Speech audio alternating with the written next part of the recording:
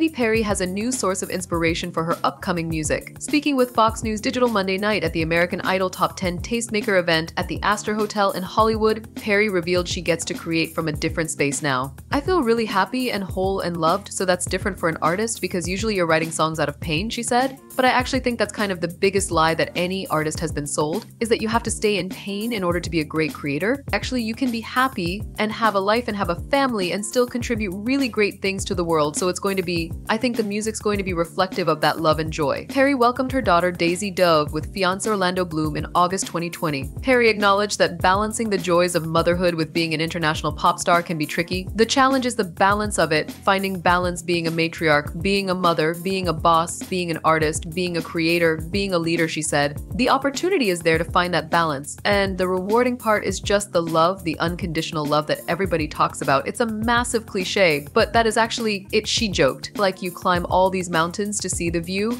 and you think that that's the view that you're looking for,